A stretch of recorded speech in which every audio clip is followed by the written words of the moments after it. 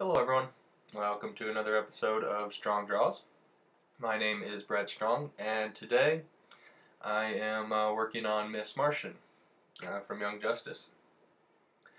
Uh, like I said in the last video where I did, uh, I think it was the coloring of Aqualad and then the, the uh, line art for him. I think I might just do a whole series of these, uh, just kind of pin-ups I guess, of all the Young Justice um, crew league. So um, I thought some um, the next one would be Miss Martian, so that's what we're working on here, and I'm gonna do more in the future. I think this might be the last one I record, but if you go check out my Facebook page and uh, Twitter, you'll see all the the final ones as I complete them. Uh, but I thought I'd try something a little bit different today, and that is to uh, instead of having the video go quite as fast as it had been, I thought I'd slow it down so you guys can kind of see the process, and I'll kind of walk you through what I'm doing. So as you saw, I always start uh, with the head and then a uh, gesture line or center line of the character. And then I kind of build it out into um, the ch uh, neck, chest kind of shape, where the hips are going to go. Uh, just kind of loose lines of where the legs and feet are going to fall in and, as far, and kind of the length and the position of the arms. After that I break it down into the point where I'm at now where kind of do the um, tubes, I guess you'd call them. Um, these cylindrical shapes to kind of represent uh, the mass of the area, not necessarily muscle shape or form, but just kind of the general size and shape of the area I'm working on. And then I just kind of um, start sketching stuff in, you know, moving stuff in and out. You saw earlier I kind of brought her waist in, gave her more of a hourglass figure, kind of gesturing in where the hair and the capers are going to go. And then generally about this point, as you see, I, I will turn it blue. And um, from there, I will go into just kind of tightening up stuff. Um, getting the head shape and the jawline in properly, um, where the eyes and facial features are going to kind of go. And as you see, um, when I start working on the face, it's not going to be pretty at all. It's just going to be general ideas where everything's going to go. Nothing too um, finalized at this stage either. Uh, kind of working on muscle structure and where the you know the body's going to fall into place and how all the parts are going to fit together. Um, I think um, what a lot of uh, new artists do that tends to get them make their characters look as stiff as they are because a lot of young artists or new artists when they start drawing people all their figures are very posed and very stiff looking. Now this is just kind of like I said in the last one kind of a sketch more than a finished drawing. Something I'm just kind of doing for fun to get used to you know. I guess just more practice not so much uh, finer details, but just more practice working on the human figure and whatnot. And I tried to do as much, you know, if I'm sitting and I'm sketching, I'll do one of a guy, one of a girl, and I kind of just alternate so that I don't get over, you know, too much practice with one and then um, fall off on the other, I guess, because um, you can get into a, a, mode where if you draw too many girls, your men start to look feminine, and vice versa. So I think it's good to alternate. Kind of what I was saying was um, when new artists start out or young artists are drawing, their their characters all look really stiff. I think a lot of that comes from the fact of the refining process. You start with a loose sketch and then you refine it to a little bit tighter and then you go back and you refine it more and more. And the more times you do that, the stiffer your characters and your figures end up being. So, I, like I said, you see, I turned the original sketch to blue, made a new layer, and I'm sketching on top of the new on the new layer. But what I found is I try to do that as few times as possible. Um, I think on actually when I did Aqualad, I did all my final pencils, if you will, at this stage. I didn't even um, go in and do a, another blue line. Like I think with her, uh, once I get this part done, I'm going to turn this blue and then do even uh, a little bit tighter pencils on top of this. But you'll see as um, when we get to the end, this isn't going to be a final pencil drawing. It's going to be still very, very loose. And um, other than um, maybe the face gets a little, gets a little more detailed than the rest, but all of it stays very, very kind of loose and uh, almost a little sketchy looking, which I do all my, and then I, when I take it to inks, that's where I do all my final lines. So here we're working with the hand. You'll see I start with kind of a trapezoidish type shape for the palm and where the uh, thumb and fingers are going to kind of go and just kind of sketch in fingers from there. Now I'm just going to go in and like I said at this point you're going to see me add um, start adding facial features like there's the eyes, the nose, the mouth and it's it, again it, it's not very pretty at all. It doesn't you know at this stage it doesn't need to be it just needs to all fit and all work. So again the looser you can kind of keep this stuff um, especially if you're going to ink, uh, the better results I think you're going to have. Just because it doesn't, it, it keeps your characters kind of, you know, a little more loose. Now, if you're doing final pencils, again, the, the looser you can keep it, the, the better, um, the better results you're going to have. I mean, you want to still have it, you know, if you're going to send it to an inker, or if you're going to have um, just have someone color the pencils.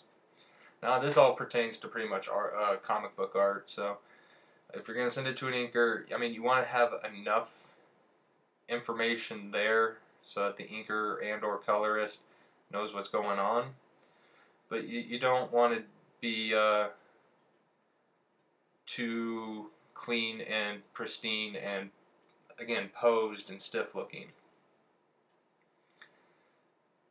because um, a lot of the, I mean, if you, I've been studying um, cartoon and uh, animation and kind of how they build their characters and where they get the movement from, and been learning that a lot of it, especially up until almost the colors, if you actually look back at the old Disney animations, those lines are still pretty loose and you can see them jump around and that's kind of what gives them the character.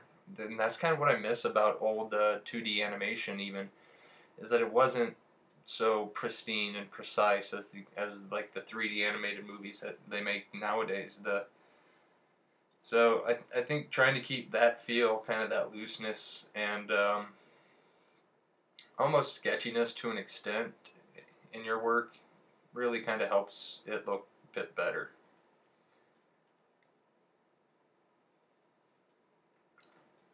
Now I'm just kind of roughing in where her uh, costume's going to go, her skirt and her gloves and the X across her chest, her belt. And at, at this point, like especially with like the boots and the gloves, um, they she has kind of these uh, folded over, kind of I don't even know kind of what you would call that, but as far as those go, I'm just looking for kind of a cool shape more than anything, not so much um, how they're going to practically work at this point, you know, what the, but just something that kind of looks interesting. Now you're going to see me, we're going to go in here and uh, clean up the face. Another thing, especially working digitally, that I've been kind of um, working on as a discipline is not zooming in quite so close. Now, uh, I'm using a 3 pixel brush and I am using my Wacom Cintiq 12 WX. and I mean it kind of looks like I'm zoomed in, but on the, on that small a screen, it's still pretty pretty zoomed out. Like when I, when I first started, you know, the whole body that was completely zoomed out, which on this screen is only oh, trying to measure here, maybe six inches tall, if that. I'd have to get out a ruler. I'm kind of terrible at that stuff, but trying to stay zoomed out so you don't, uh, so you can kind of keep the whole figure in your viewpoint and you don't get overly exaggerated or your proportions don't go out the window a bit.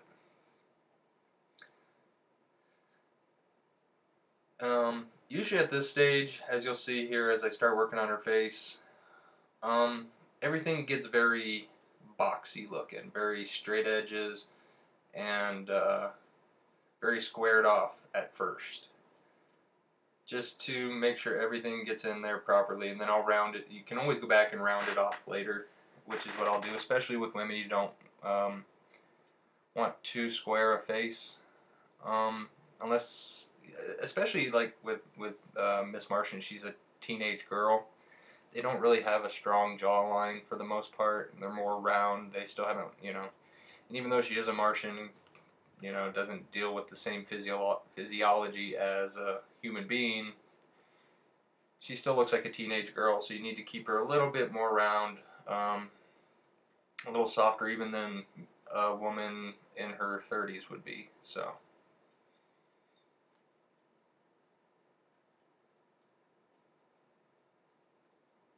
Here, just kind of rounding off the face a little bit, kind of like what I was talking about.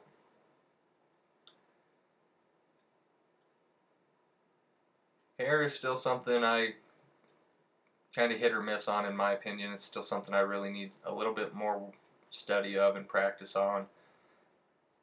But um, basically, you just figure. I the way I work, as you'll see here, is I just work in the big shapes, the big um, kind of flow of the hair, and then break it down into smaller shapes and groupings later on. But um, for me, the important part is the, the larger groups because you can go back and add the smaller groups a lot easier, and you know later on, so that uh, it all kind of holds together and try to mix it up and send it all in different directions just to make it again just a little more visually interesting.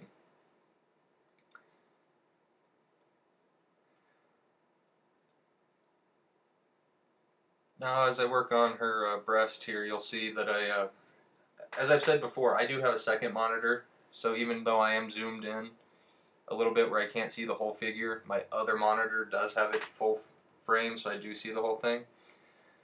And another problem I see with younger artists, especially uh, young male artists, is they draw breast really sitting way too high on the chest. And the only time breasts will ever really look like that, maybe, is if they got a really tight bra on that's going to hold them up there. And um, to me, it always looks kind of goofy anyway, even in real life. But they sit down a lot further on the chest than um, most people realize. If you really kind of study it, they they and also depending on size and shape, you know, they they they hang, they sag. They're you know at least a little bit even when you're young, when girls are younger, because it all it is is um, sacks of fat essentially. So gravity really takes a part in that. So you have to really think of that when you're drawing those.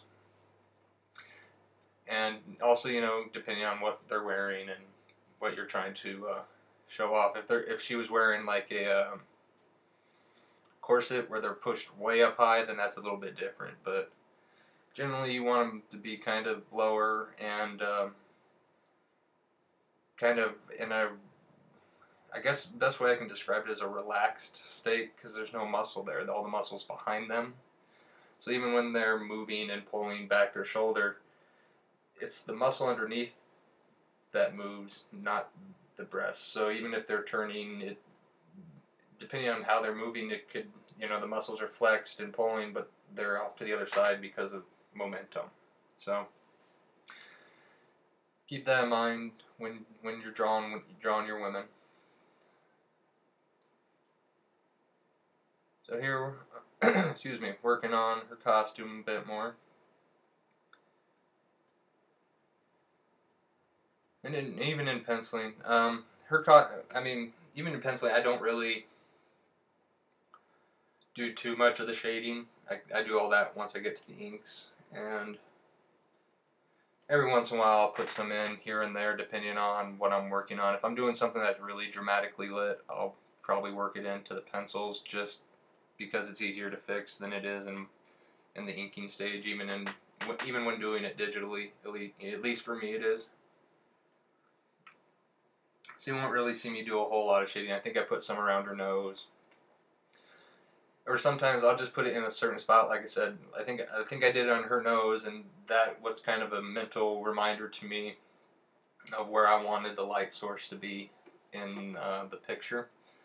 And it, if I do it anywhere, I'll generally do it in the face or neck area, just because that's what I tend to ink first, and that way I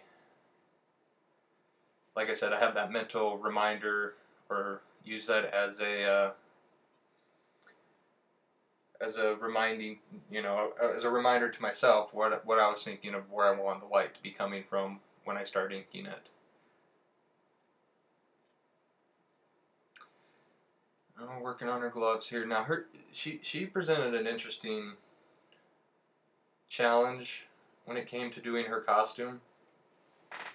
Because generally with gloves and stuff, you have the seams of where this they're sewn or the belt sits on top of stuff, and it's a little bit off this body, so you can put an, um, an accentuating uh, ridge line and stuff like that.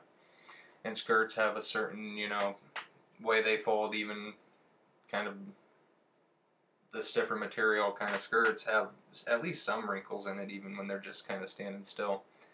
But with her costume, since it's kind of her skin for the most part because she can change it to what she wants it to be, kind of, you know, like her uncle. It it, the, it presented challenges because, you know, does it fold like normal clothing? Does it, you know, all this stuff? I mean, kind of nerdy things to think about, I guess, a little bit when working on it, but it is things that come to mind, and in the long run, probably not a big deal overall, but just kind of things to think about when you're working. So here we got uh, working on putting her knees in there and kind of getting her legs where I want them to be, adding her boots.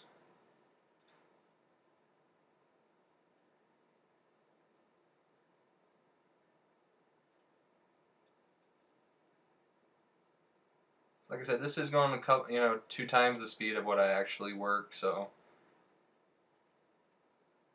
again, like when I, this is for, like I said, my sketchbook where I just kind of have fun and practice and goof around and just kind of draw what I want to draw, um, even though it doesn't really pertain to anything.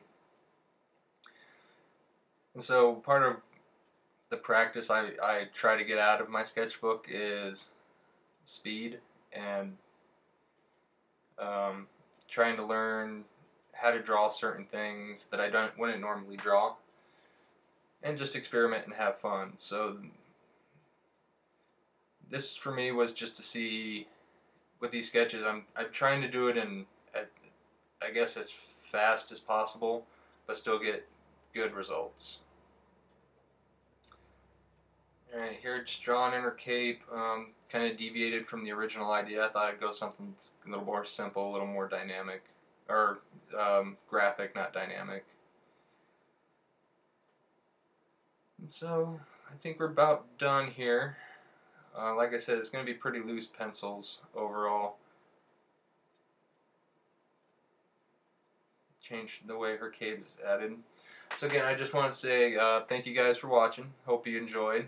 Uh, if there's any questions you have or uh, characters you'd like to see me draw, leave them in the comments below. Uh, there will be an inking video to this one. So, um, excuse me, get, uh, leave a comment, let me know what you think. Do you prefer kind of this little bit slower method so you can kind of get a better idea of what I'm doing? Do you like the sped up versions where it gets all done in one, where I get the pencils and inks all done? Uh, just let me know. So, and otherwise, uh, check out my Facebook and Twitter for updates and uh, the rest of the Teen Titans or Young Justice um, pictures or um, pinups as they come out. Because, like I said, I'm not going to probably video any more of these. So, uh, here's another good trick uh, that I normally do is uh, flip the image around, kind of lets you know if something's a little bit off, if it needs to be moved, adjusted, bigger, smaller, up, down, left, right, all that good stuff.